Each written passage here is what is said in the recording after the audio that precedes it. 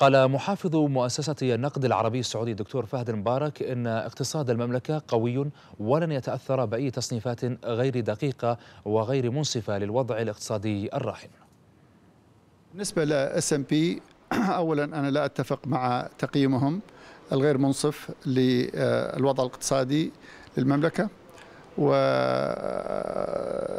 ولا ولا أتفق مع الفرضيات التي بنوا عليها ذلك.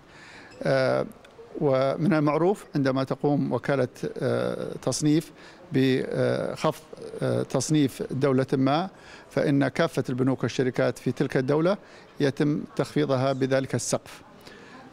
لذلك ليس مستغربا مستغربا فهو قرار فني بحت بالنسبة للبنوك ولكن هذا لا ينقص قوة البنوك.